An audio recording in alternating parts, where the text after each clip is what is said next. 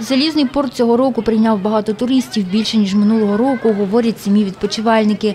Незважаючи на зелену воду та медуз, знайти вільне місце на пляжі досить проблематично. Хоча людей багато, у цей приїзд відпочивати спокійно, розказує Ольга, відпочивальниця зі Львова. Поліція ходить, але щоб якогось кіпіша не було. Щовечора у селище виходить піший патруль. Відпочивальники говорять, що бачили, як працює поліція. Поліції бачили багато, патрулюють по набережній, ну, в основному з тієї сторони. А так, вроді спокійно. Поліції, як сожалению, Поліції я тут не бачила, на жаль, або, мабуть, на щастя, але тут спокійно. Нацгвардія ходить. У нас все чудово і, на щастя, ніяких неприємностей з нами не траплялося. На дорогах населеного пункту чергують автопатрульні. Люди приїжджають з інших областей, тому відбуваються інколи конфлікти. Виїжджаємо, вирішуємо.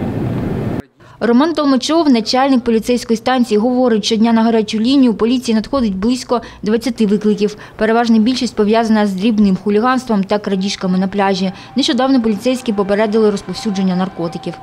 На території села Залізний порт е, організована поліцейську станцію, яка обслуговує 4 населених пункти.